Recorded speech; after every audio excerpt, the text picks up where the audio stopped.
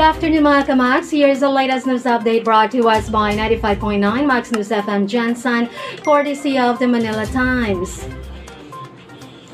The Philippine Health Insurance Corporation, or PhilHealth, has suspended the implementation of a memorandum that seeks to stop claims payments to hospitals being investigated for fraud. Under Memorandum Circular 2021-0013, the state health insurer can suspend the reimbursement of claims to healthcare facilities under investigation for fraudulent or unethical acts or abuse of authority. Hospital organizations such as the Philippine Hospital Hospital Association and the Private Hospitals Association of the Philippines denounced the circular as another way to delay the processing of claims.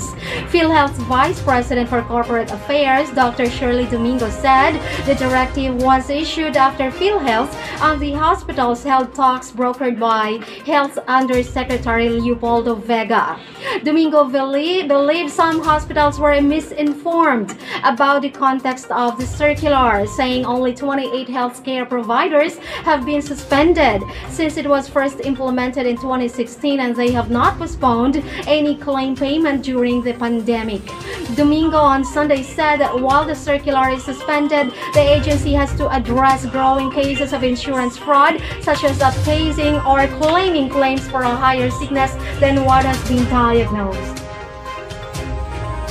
She said that under Circular 2021-0013, the fraud must be consistent enough to warrant an investigation which will only focus on the type of claim being investigated. For example, if a hospital had issues with cataract claims, only the cataract claims will be suspended.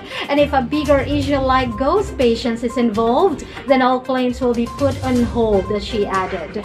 Domingo said PhilHealth has been consistent in paying the claims of healthcare providers and is already implementing implementing a debit credit payment mechanism to pay 60% of the COVID 19 claims to member hospitals in areas where there is a surge in cases. She also said the Philippine Red Cross is being reimbursed for the swab tests it has been administering on PhilHealth's behalf.